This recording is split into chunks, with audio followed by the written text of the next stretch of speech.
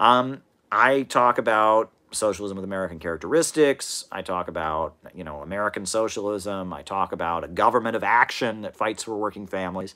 But, you know, I mean, that showed, again, a level of political maturity on the part of the Communist Party.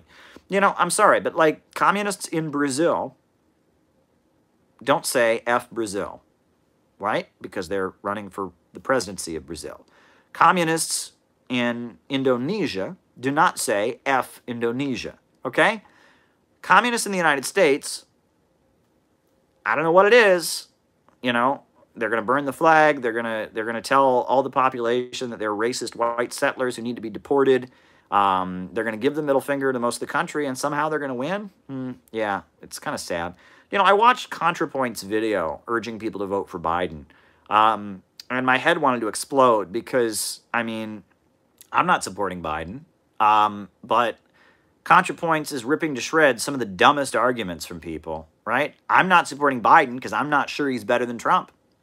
I'm not sure that Biden is better than Trump. He might be. In some ways he is, but in some ways he's worse, right? I've done videos, you know, I mean, who's behind Joe Biden? I've talked about the the ultra rich and the managerial bourgeoisie and how dangerous they are, right? So, you know, that's my concern. And that wasn't addressed in her video. Her, her video was like addressing people who were saying, oh, we don't need to vote for Biden. We need to have an armed communist revolution. And it's dumb stuff like that. Um, you know, and you watch it and it's like, you know, ContraPoints is shilling for Biden and urging you to vote for Biden.